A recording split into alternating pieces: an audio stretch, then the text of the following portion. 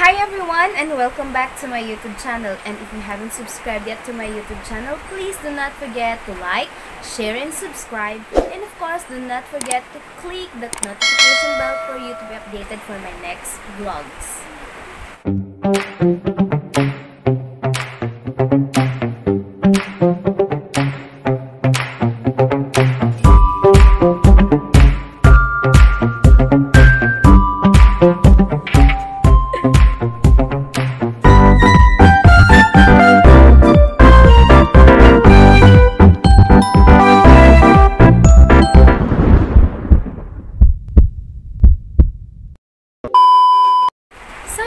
Sa buhay, kung may tiyaga, may nilaga.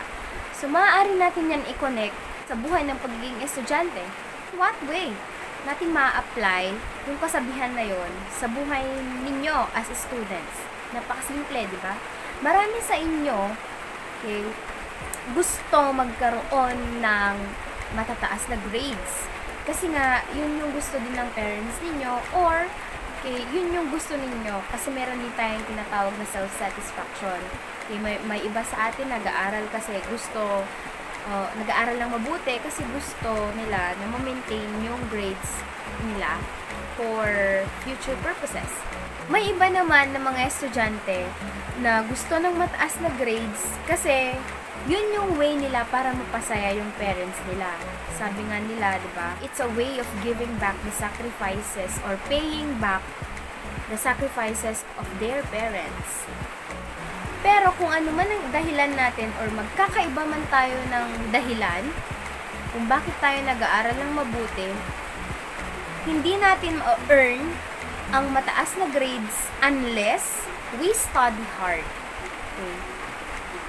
But, may mga bagay pa din na nakakaapekto sa ating goal na iyon, hindi ba? Marami eh. Isa na dyan ang procrastination. Pangalawa ay manyana habit. Okay, marami sa atin yung ganon. Okay, manyana habit and procrastination, yun yung ways na halimbawa sana meron kang gagawin ngayon tapos ipagpapabukas mo na lang kasi meron kang ibang goal na gustong gawin ngayon. Okay, tapos kinaumagahan na naman, sasabihin mo na, ay bukas na lang, may time pa naman. Okay? So yun yung manya na habit and procrastination. And these ways will lead us later on to cramming and crash studying na instead sana na makapag-focus ka ba sa other subjects, okay, yun na lang ang na-focus mo. Okay? alam ko marami sa atin ngayong time, ngayong pandemic, ang lalo na magkakaiba na tayo ng modality of learning, di ba? Meron sa atin online class, meron sa atin blended learning, meron sa atin modular. Okay? Whatever modality, okay, whatever mode of learning, lahat tayo or, or all of you students must improve your study habit. Okay? So, what is the importance of establishing a good study habit? Importante ba to? Ano bang maitutulong? Importante ba to?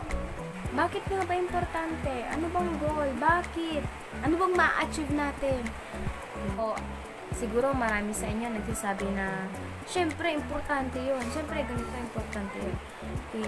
Did you know, students, that it has been proven that information retention is higher when you go over your notes?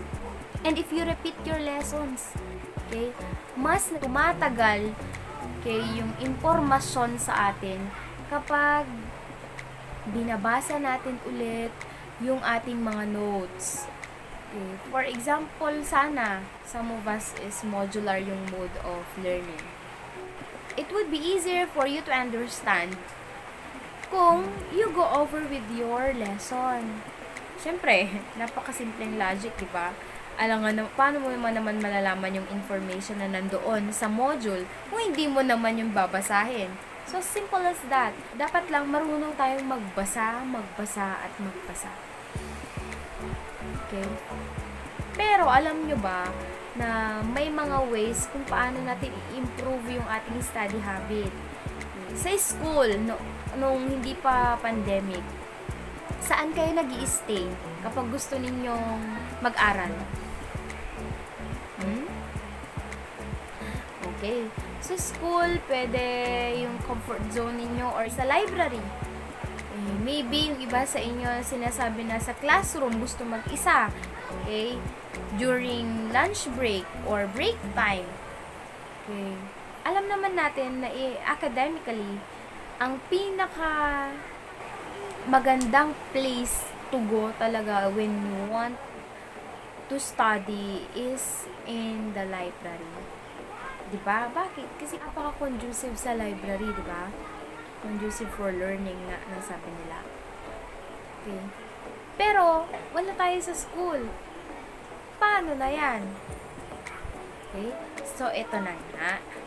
Okay, so I have only four tips for you to improve your uh, study habit even wala kayo sa school.